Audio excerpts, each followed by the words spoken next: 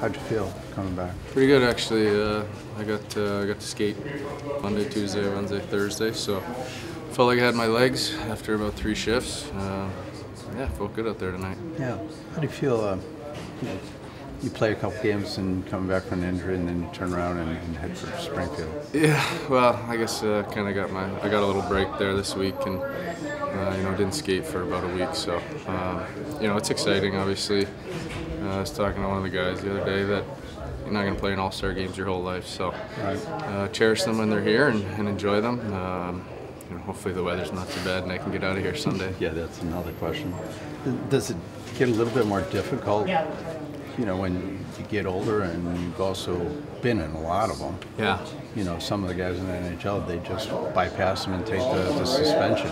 You know, on, on the other side, Yeah. on the AHL side, you're probably in that class where you deserve it if you wanted to. Yeah, I think it goes back to you know what I said. I mean, um, my my parents come, my sister come. It's uh, you know it's a fun two days. It's really it's not hard on the body to you know skate out there and, and do the skills. So it's uh, a travel, but uh, you know I'll cherish them when I can. And uh, you know, like I said, I got last week off. Uh, fortunately with a little injury and, and got some time to kind of rest up the body so I feel good for the second half.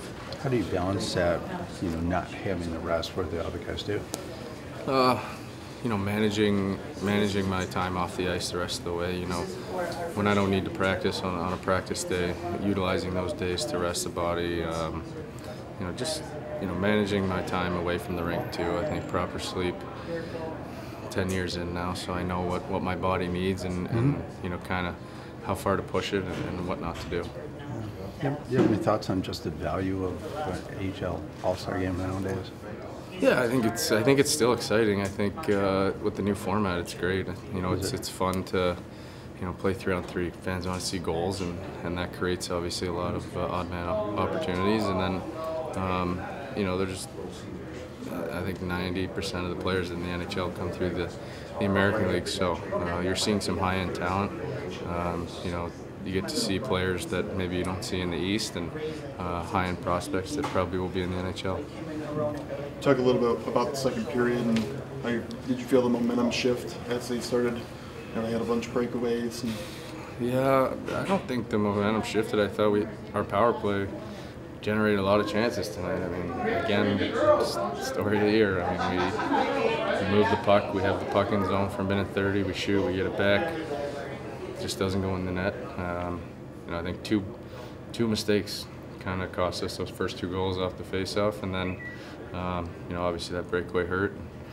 And then kind of we were uh, chasing the rest of the way. what makes San Jose a tough team to go up against? It was fast. I thought it was a really fast, fast-paced game tonight. It was, was fun. It was fun to play in. I mean, they're uh, opportunistic when they get the puck. They're looking to counter really quick, and uh, their D are very active. So, um, but again, you know, we can take advantage of that, and we can utilize that to our strengths. It's pretty chippy out there too. Is that kind of to be expected against them? or- Yeah, I just think as the game goes along, obviously frustrations mount from our side that you know we haven't scored or you know we've given up a goal, and um, you know the rest of the way is going to be tight games. It's going to be hard checking. It's going to be uh, you know a little chippy, and, and that's kind of the edge that these last 30 games will have.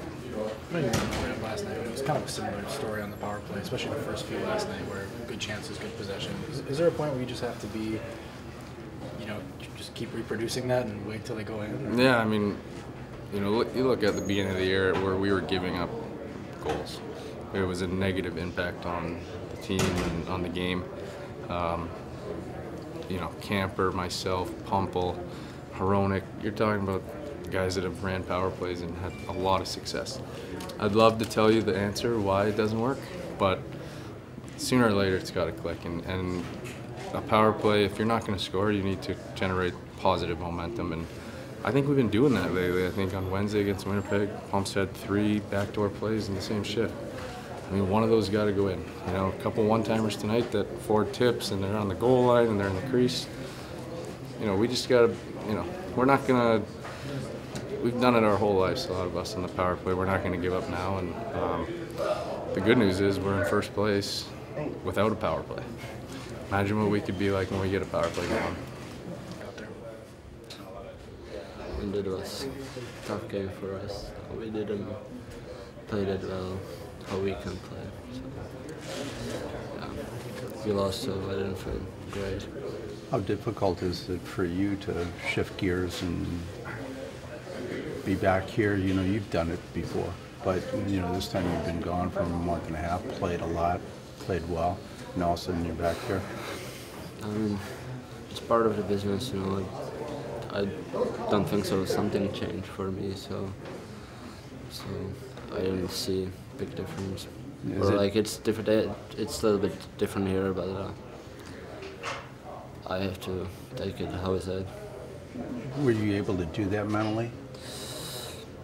Yeah, I think mentally I was fine with that. But, uh, I don't think so. I played well or something tonight. Yeah. How would you describe uh, this recent stint in Detroit? I mean, it was fun, you know, get experience. I was there for a little bit. I was there a little bit longer now, and uh, I try take some positives from there and move forward. And in the last seven games or so, you've been successful, you've been productive. Does it make that difficult to all of a sudden shift and come down here? Uh, not really. I just I felt good down up there, and uh, and I had my confidence. So I don't think so. It was hard for me. Maybe I should ask it this way. Does it make it easier to come down here?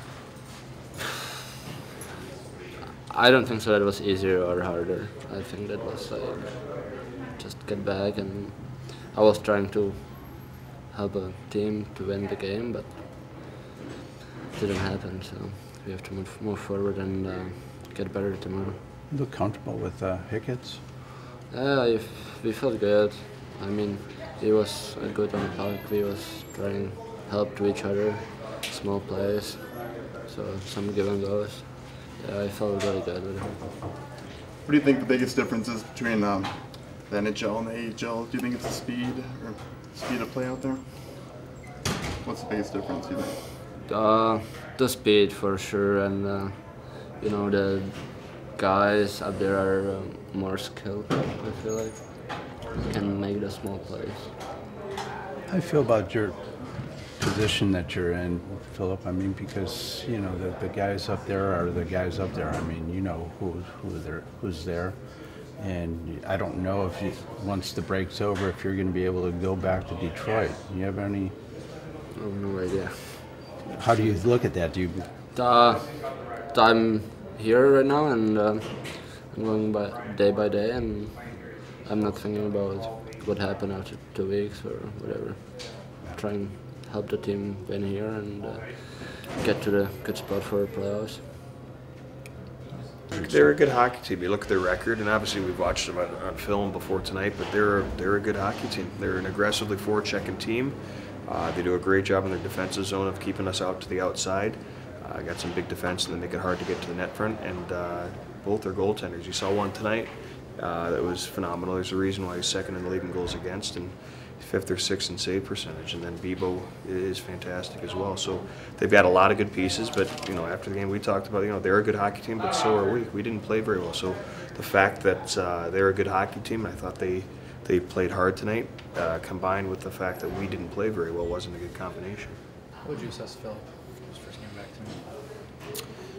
Uh, I thought he tried to do too much at times, but uh, you know, I think he has to realize this is still a very hard league to play in. And as you go down levels, there's a little bit less structure within uh, within the game itself. Uh, you're not going to have as clean a game here, and you have to kind of manage your game. And I think at times you got away from that. But uh, again, anytime you're going from a different team to a different team, different level to a different level, I think there is a little bit of an acclimation period. Whether that's a period, whether that's a game, whether that's a week, that's it's going to happen. It's to be expected.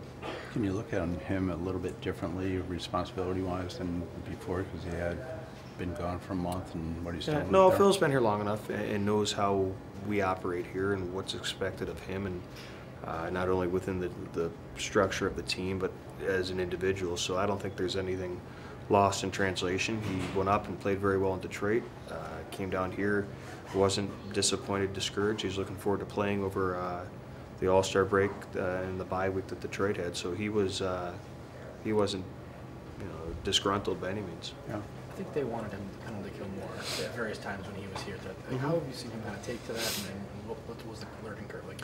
Well, from day one this year, we've tried to find him more ice time. We've tried to make because if that is going to be one of the things that's holding him back from the NHL level, you know, we have to find a way for him to work on it and get him some opportunities to do that in games. So uh, that's why we're here as a developmental league. If he needs to kill penalties, we're going to give him that opportunity and we're going to work with him. And the only way you get better at it is to continually do it. What'd you think of the, why the pairing with uh, Joe? Uh, they played a little bit together before, and then uh, we looked at the other pairs, and Billy and uh, Chelly played well together in the past. Mac and Sully played a little bit together, so almost by default. But I think Joe and, and Phil have played a little bit together in the past, and uh, their personalities just off the ice in the locker room are, you know, combined pretty well. And on the ice tonight was wasn't great, but again, it was their first game together. Or Would you switch that around after this weekend? Uh, well, we switched after the second period when uh, couple D were, were struggling a little bit. So we'll look at it and we'll, again, it's always a moving pieces and parts and we'll sit down and, uh, you know, get Lashoff back in the lineup tomorrow and you know, that'll hopefully help settle things down. How would you assess uh, Zadina to this point in this season? Uh, steady, progressing steadily, uh, inconsistent at times, but uh, again, he's a young kid who's, who's finding his way through this league and navigating through uncharted waters. So, uh, you know, he's got to focus on controlling what he can control and not trying to do too much at times. But uh, from the perspective of where he was at the beginning of the year to where he is now, with all the hoopla and all the questions and all the hype about him, I think he's been, I think he's been, he's handled it well and been good. You sense any frustrations with him if the games he doesn't perform well? Maybe he misses a couple chances. Does he ever express any frustration or with all the pressure he's got on him from the fans? Yeah, yeah, absolutely. Like like anyone, he wants to succeed, and he's hard on himself, and he has high expectations for himself. So uh, he absolutely gets frustrated. And again, we try and make sure his confidence isn't too high and isn't too low. That he has to manage himself and manage uh, manage the game. What's the message been to him from the coaching staff of what he needs to improve on this year and Just next year? consistency. You know, like any young kid, you got to be consistent. It's great to have a couple good games in a row. You can have a great game, and he's done that at times. And you got to, you know, pro hockey is. You get, what have you done for me lately? You know, you got to follow it up. You got to do it again. The good players do it consistently. The great players do it every night. He is a guy that can get visibly kind of frustrated too. Sometimes he Yeah. the ball. Like, is that something you just let him let him work through, or No, no, no. We've talked about that, and not letting your frustration show. And body language is a huge thing. So, uh, if you can project, you know, it's almost look good, feel good, play good. So, you know, that's kind of something that we've been working on with him. And again, he's a young, young kid. So, you know, it's going to take some guys a little bit uh, longer time, but he's he's he's fine.